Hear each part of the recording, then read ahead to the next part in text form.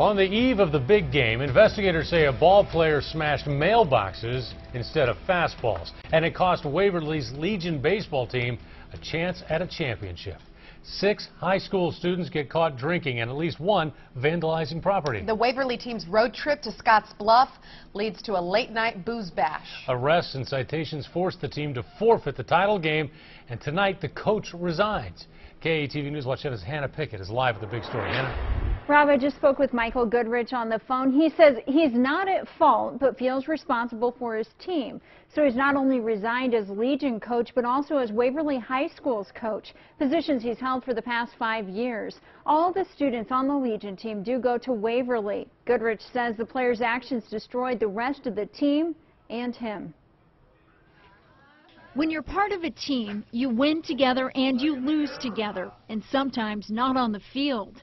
A lesson Waverly Legion's baseball team knows all too well. Everybody has to pay for it, no matter if it's one or two or how, however many. The team made it to the state championship after winning several games, including this one, but they never got to play Wednesday. Investigators say they caught six of the 14 players drinking Tuesday night, and at least one of the six smashing a mailbox in Scotts Bluff.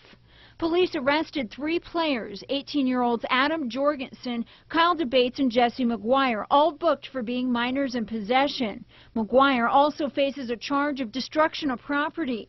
Police also ticketed three other players for minor in possession. 16-year-old Dylan Benson, 17-year-old Calvin Yelkin, and 18-year-old Luke Somovich. Only eight players left, not enough to field the team, forcing Waverly Legion to forfeit the championship. I don't think it's fair to the other ones that didn't do anything. Waverly Legion's coach Michael Goodrich agrees, telling us, quote, they devastated a bunch of innocent people and the pride of a community who has stood behind these boys who did great things on a baseball diamond.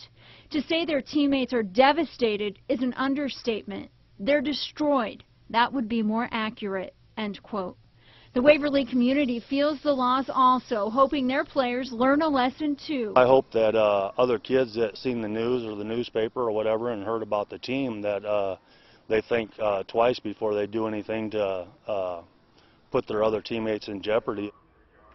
But now former coach Goodrich tells me his decision to resign was a major one. He's coached for the past 30 years. He says the buck had to stop somewhere. Rob, Melissa, back to you.